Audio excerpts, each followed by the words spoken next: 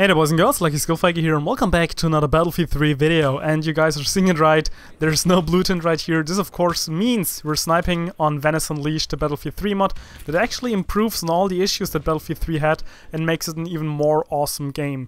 So in case you need a quick summary of what's actually going on, Venice Unleashed is a mod for Battlefield 3 that actually gets rid of a couple of the problems that the game had. First of all, the netcode and hit registration.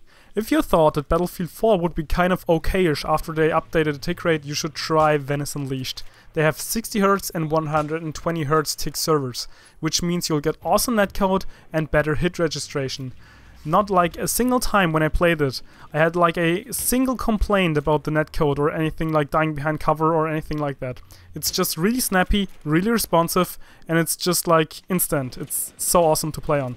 Another great thing, no suppression. Of course this means you will be rewarded for skillful play instead of just re being rewarded for missing your targets, which again is another cool thing and an awesome feature. And as you can already see, there's no blue tint, there's no sun glare, and this of course means that you can actually see where you're going. So this was a really quick summary of what Venice Unleashed actually is. F of course, as you can see right here, I'm kind of excited, sorry guys. Um, I'm using the my trusty .44 Magnum from Battlefield 3 all together with the SV98 and the 8x zoom scope. Um, the color correction in this video, however, is not quite as it is in the game, so I upped the contrast a little and I also upped the saturation a little bit to make the colors pop a little more. So I will also post another gameplay in which I won't touch like any of the color settings or anything like that, so you can take a better look on it and what's actually really looks like. But again, no blue tint, no sun glare, so when you're now actually facing at the direction of the sun and you see an enemy, you'll be able to see the enemy instead of just like having this holy halo above the enemy head or something like that. And yeah, so far I've been actually really enjoying this game.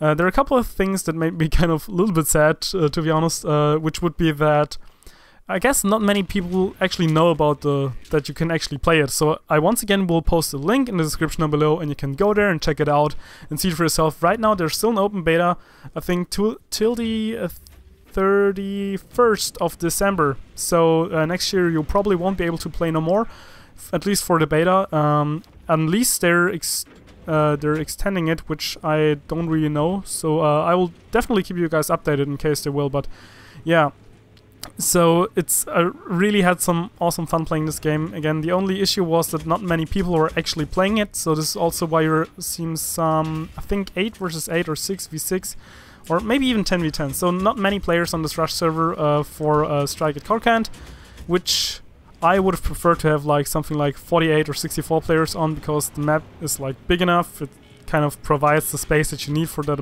like that kind of amount of players.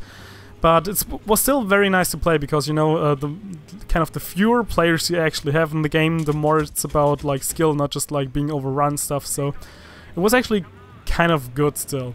Another thing is that that really kind of stands me a little bit was that I thought that the Battlefield 3 hardcore community, or at least the people that are still interested in Battlefield 3, would have like matured a little bit more, so that we would not have like those M16 A3 whoring anymore. And uh, sad. It's it's sad to say that there's still like uh, quite the majority of players are still running the Medic Train M16A3 combo with heavy barrel and foregrip like LevelCap told you to, which I thought was not kind of necessary. I still think that the game would be even better now, or but the mod would be even better if they would like do some sort of pro mod. Of course, this is not impossible because they actually allow you to use further mod tools in order to tweak your servers and other stuff like that.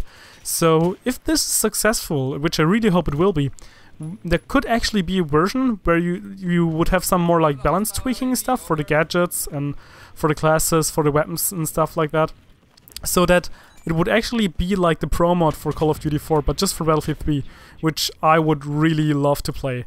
So yeah, um, once again, this is Venice Unleashed. There's a link to it in the description down below, so if you're watching this video right now, uh, you might actually have some time to still try it out. Uh, you just need Battlefield 3, and you need to link your Origin account with your Venice Unleashed account. It's not running over Battlelog or Origin or something like that, it's just like kind of... It needs your Origin account to see that you actually have the kind of the game and stuff like that. So uh, after that, you will have created your Venice Unleashed account, and you will do it from there.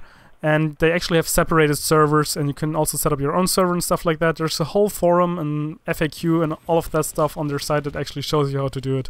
But yeah i think it's pretty much all for now. I hope you enjoyed the little sniping gameplay. I was a little bit rusty. I hope it was still okay. But yeah i think it's pretty much all for now. So i hope you enjoyed the video and lucky skill faker out